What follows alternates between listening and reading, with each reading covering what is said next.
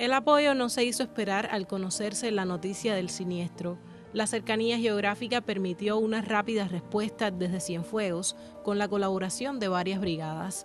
Desde aquí el pueblo envía también su solidaridad. Nos solidarizamos con el pueblo de Matanza por la situación que en este momento está ocurriendo y que eh, estamos dispuestos a cualquier ayuda acá.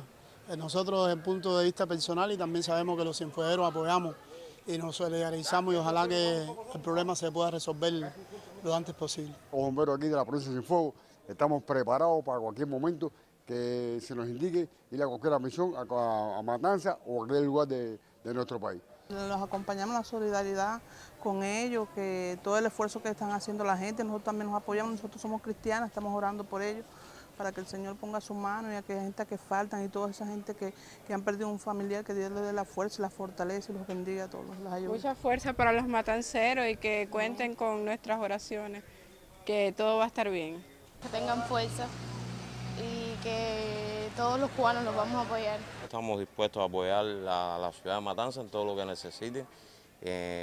podemos colaborar con personal, con todo lo que necesiten, medicamentos y bueno, la disposición la tenemos, tanto con Matanza como con todo el país. El pueblo los apoya, que estamos con, con el pueblo de Matanza, que es lo que necesiten. Y aquí en el hospital de Cienfuegos están las condiciones creadas para prestarles ayuda y estamos bueno, muy conmovidos por todo lo que ha pasado y que pueden contar con el apoyo de Cienfuegos para lo que sea necesario.